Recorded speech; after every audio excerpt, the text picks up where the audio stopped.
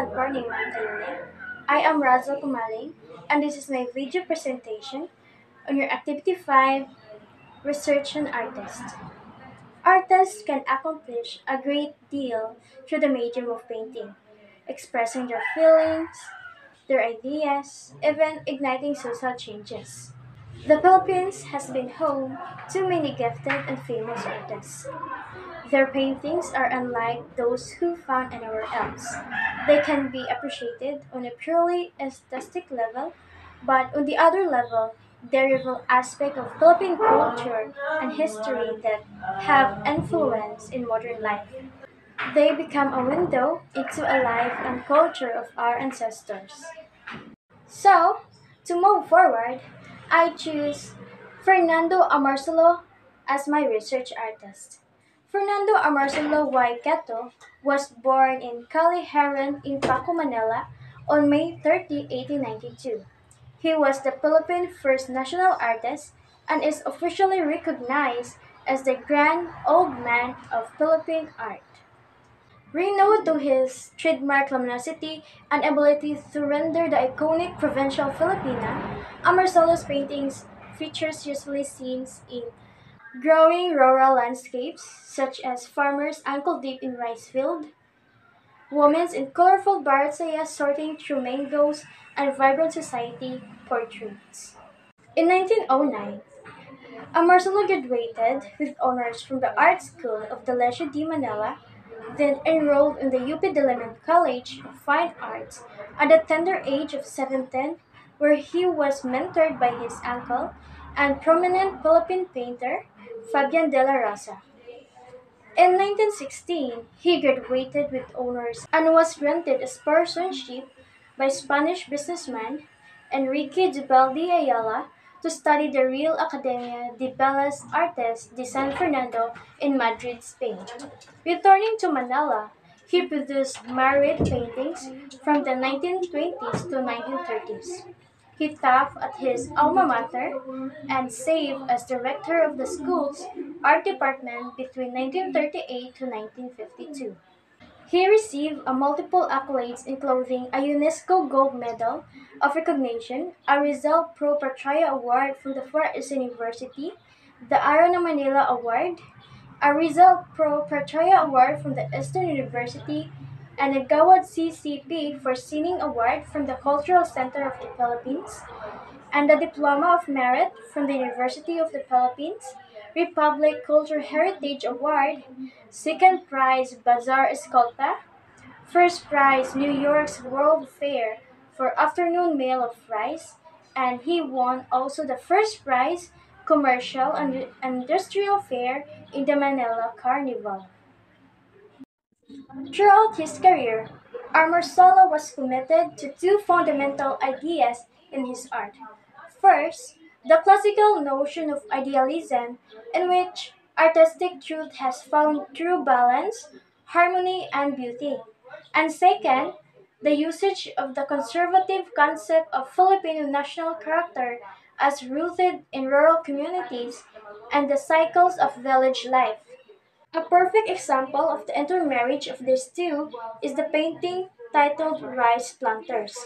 The painting features farmers set on a rice field regardless of their gender. They are all together working under a bright sunny day. Due to the usage of nature and pastel colors, the paintings um, gives off a light visual weight and irony to the heavy toil and labor that rice planting entails.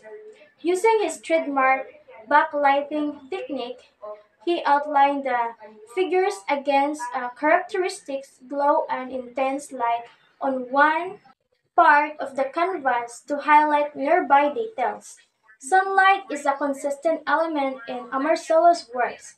Brushstrokes were smooth, which emphasizes the scene feel attended by the artist. Amorsolo painted the Philippine landscape in sunny and colorful depictions that idealized both nature and native beauty. Using techniques of natural outer lighting and taking from the Impressionists of Europe, he mastered the skill of natural lighting in his paintings, and this trademark was later called his mastery of the Philippine sun. His works his works have inspired many an artist long after his death, and how a number of local cinematographers have adopted the look that saturates his paintings in motion pictures. The golden sunlight and the corresponding shadows is a proof of Marcelo's genius as an artist. It can be argued that no other Philippine painter could match his ability to capture gloriously both idealized countryside imagery and the awe-inspiring beauty of nature's glow and luminescence. Afternoon Meal of the Rice Workers by Fernando Amorsolo is a beautiful piece. It has good combination of colors, especially the light ones. The story behind this painting the story behind this painting is really the one that is really captivating. It shows how simple but happy the life of our great farmers was. Simplicity was just so perfect of the scene, such an inspiring and heart-touching piece. Everything looks so perfect and it suits the all Filipinos. So, these are some of the famous artwork of Fernando Amorsolo. We have the planting rice.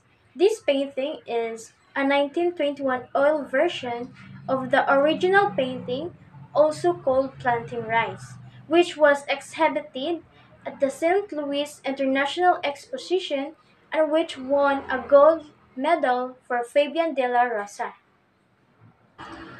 This painting is an example of contemporary art since 1950 an oil-on-canvas painting by Mr. Fernando Amorsolo entitled Fruit Gatherer that depicts a woman sitting under a bamboo tree holding a winnowing basket full of fresh fruits. It also portrays the everyday lives of a lady living in the province where fruits, vegetables, that other edible things can be found fresh. Another artwork of Fernando Amorsolo is Dalagang Bukid, Maiden in a Stream, Afternoon Mail of the Workers, Fruit Pickers Harvesting Under the Mango Tree, Bataan, and many more. That's all. Thank you.